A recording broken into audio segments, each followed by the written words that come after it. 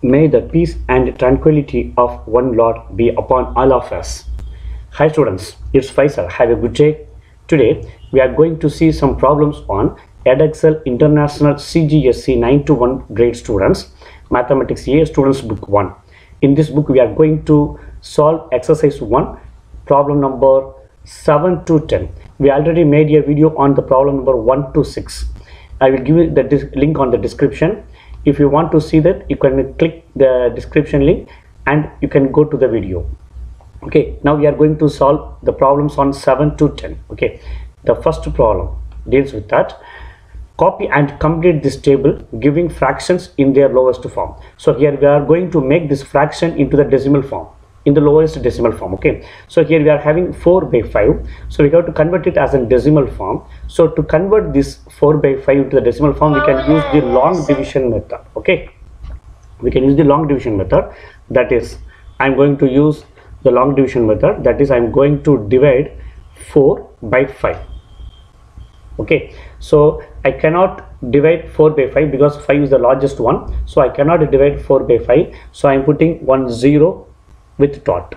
So by putting the dot i can add one more zero to here. So now i, I have to divide this 40 i have to consider this as 40 uh, we have to divide this 40 with respect to the 5 okay. Now the 40 is 8 times on the fifth table. 8 5s are 40 so we can put 40 here.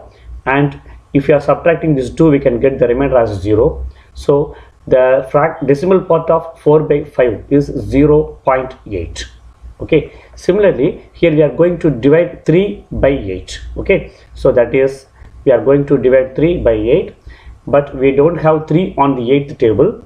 So i am i'm putting one zero dot in the quotient space. Then we can add one more zero to here.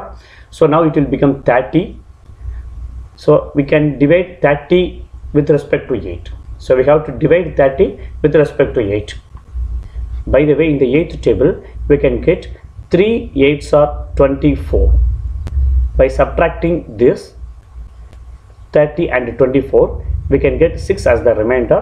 Now we can add one more zero because we have already put one dot at the in the quotient.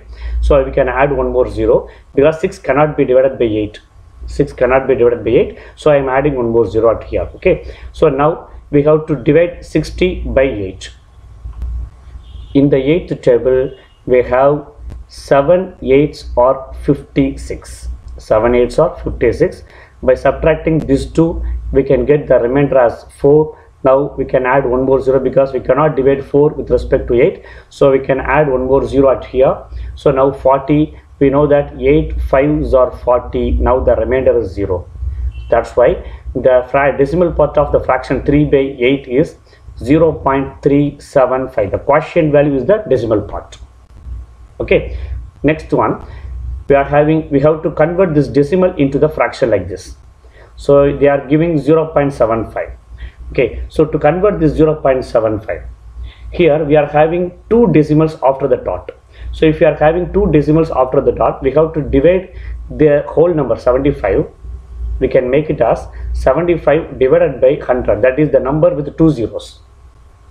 We are having two decimals after the point we are having two numbers after the point. That's why we go to divide a number with two uh, two zeros.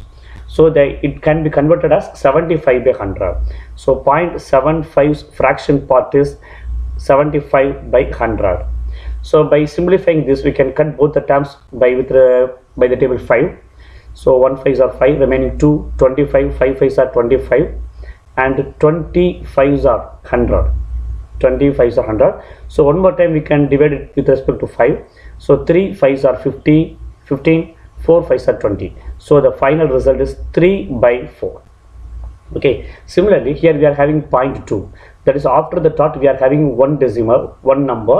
That's why we have to divide a number with one zero. Okay. That is it can be written as 2 by 10 2 by 10 now divide the both the terms with respect to the second table 1 2s are 2 5 2s are 10 is the simplest to form.